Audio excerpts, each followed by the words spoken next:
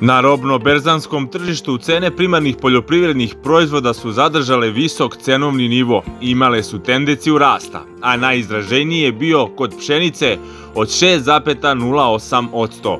Pšenica beleži nove cenovne maksimume, dok je kukuruz ponovio istu cenu iz marta meseca, neposredno pre donošenja odluke o zabrani izvoza.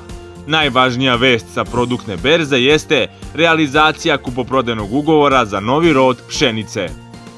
Početkom nedelje na tržištu pšenice je bila prisutna pasivnost. Ponude na cenovnom nivou od 37 do 38 dinara za kilogram bez PDV-a nisu rezultirale zaključenjem berzanskog ugovora.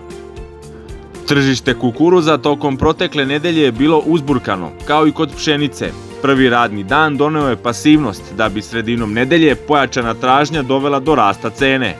Berzanski ugovori su zaključeni u cenovnom opsegu od 33,60 do 34 dinara za kilogram bez PDV-a. Rastući trend kretanja cene sojinog zrna nastavilo se i tokom ove nedelje.